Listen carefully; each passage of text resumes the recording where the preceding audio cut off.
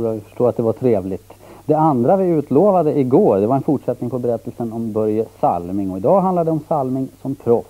Den karriären inledde han för 18 år sedan.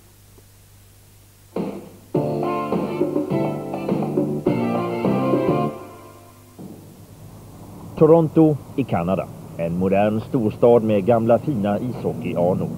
Dit kom svenskarna Inge Hammarström och Börje Salming 1973 för att börja en proffskarriär i Toronto Maple Leafs. Ja, först och främst sa vi att kommer vi, sa så här, vi chansar på två år vi skriver på tvåårskontrakt. Chansar på två år, sen får man se hur det, hur det går. Vi kan ju alltid komma hem. Och den chansen tog vi och det gick ju bara av fart. Ja, sen andra matchen så spelade de Buffalo hemma första tror jag på en lördag och sen söndag spelade vi i Philadelphia. Och det var ju värsta lagen i hela ligan. Och det visste man väl kanske, men jag visste inte vilken den här Dave Schultz var. Utan det var ju första slagsmålen man hade och det var ju värsta biten i hela NHL. Men det gick ju bra det också. Man höll i för livet. Han visste, han visste att du var ny? Jo, det visste han. Det fick man höra direkt i, i eh, när man ställde upp sig på teckning där. De skrek ju allihop där. Det var Chicken Sweden, de skulle ta ihjäl och de skulle mörda en. Och det fick man väl mycket också de gånger man spelade in. Man såg väl ut som mycket på kroppen och så här mycket. Och på den tiden också, de kunde inte ta ut, de tog ut en, domarna ut, visade ut en två, tre stycken, men sen var det fullt i det där båset, så då, då fick de göra nästan vad som helst. Det var väl inte tuffa år där de första åren, men det var jävligt roligt, roligt att spela. Salming blev snart en stor spelare också i proffsrinkarna. Flera gånger nominerades han till NHLs All-Star Teams. 1976 i den första Canada Cup-turneringen fick han ett kvitto på sin popularitet. När han ropades in på hemmaarenan i Toronto hyllades han av publiken på ett sätt som aldrig skett förut. Ja, han reste sig upp. Han står upp.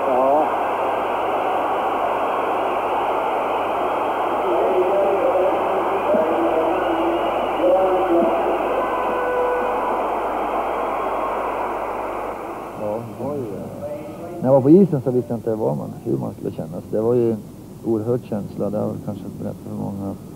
Jag trodde kanske det skulle bli andra vägen i och med att vi spelade mot Kanada och, och jag spelade för Sverige och inte spelade för deras lag eller för deras land. Och jag trodde det kanske skulle bli Brorop istället. Men att helt som en kedjevåg där att alla ställde sig upp och började klappa händerna. De slutade aldrig heller utan jag vet inte vad det man kände sig lite Ja, jag vet inte hur man ska säga. Men jag vet inte, jag tyckte... Jag åkte runt och runt och jag trodde att nu skulle de sluta, nu sluta det hände. Man skämdes nästan i med att det var Kanada som satt där borta va. I andra bås och väntade på sin tur att komma ut på isen.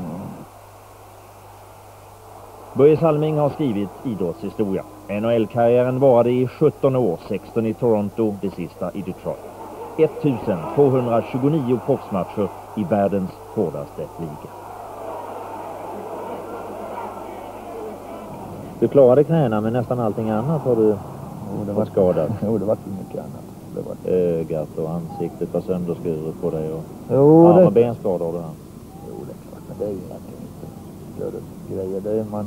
Det är man har så mycket sting så det ser man. Jag tycker inte det är så jäkligt ut ändå. Man har några sting i ansiktet. Men, men eh, det är inte så farligt. Det ser man. Det är klart, det är väl längre fram man kanske blir äldre här. Och 60-åringar, då kanske man börjar känna av det här. Få, få, få igen det vad man har tagit de här åren. Men den dagen, den sorgen.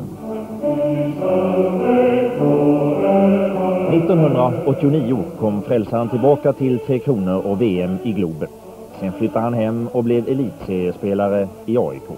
Och nu, när det snart är dags för en ny Canada Cup-turnering, är 40-åringen Börje Salming med igen.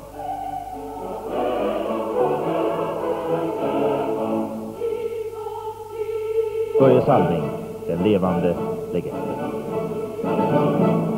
När han föddes var han över fem kilo. Så han var stor redan på den tiden. när han föddes.